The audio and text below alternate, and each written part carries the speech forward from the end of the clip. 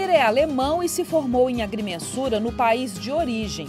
Ele mora no Brasil há 15 anos e trabalha como representante comercial de equipamentos para engenharia. Agora preparou a documentação e veio à sede do CREA Minas requerer o registro profissional. Uma pessoa a mais, a vida hoje é dinâmica, nunca se sabe, sempre é bom ter um plano B. Acho que a, a CREA, o registro na CREA é mais importante para mim se eu tivesse a ideia de, de abrir uma empresa própria ou para trabalhar numa, para, uma empresa que presta serviço, aí, aí sendo responsável para projetos na minha área.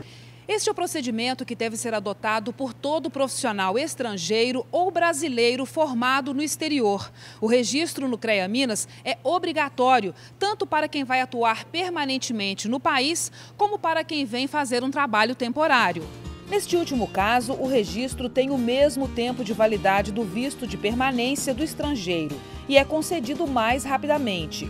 Estas e outras informações sobre o assunto estão no site do CREA Minas Basta clicar em Serviços, depois Carta de Serviços e no item 6.4, Registro de Profissional Diplomado no Exterior.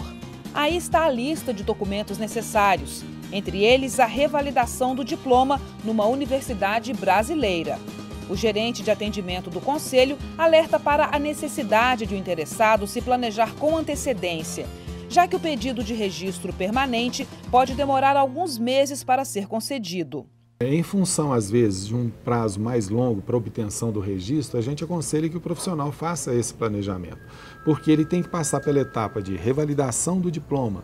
É, esse diploma e a documentação para revalidação ele tem que ser traduzido para o tradutor público juramentado.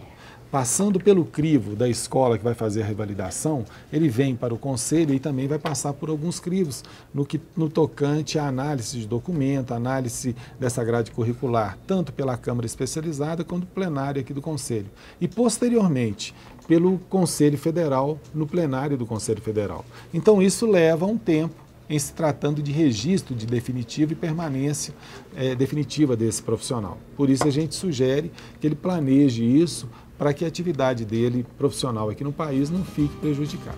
Residente no Brasil há 41 anos, este professor de engenharia da UFMG tem o registro do CREA Minas desde 1985. É, isso é muito importante, principalmente quem vai trabalhar com, com, com consultorias, né, ou com obras que, que, que, que, que levam risco à população e esse tipo de coisa. Né?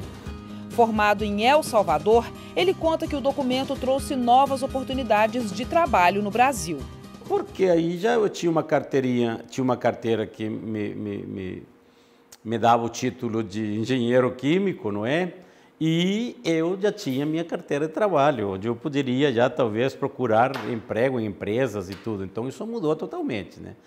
Mas eu continuei como professor, certo? Porque a minha intenção depois que eu iniciei né, a, a minha vida de professor, era então fazer um mestrado e ser professor da universidade.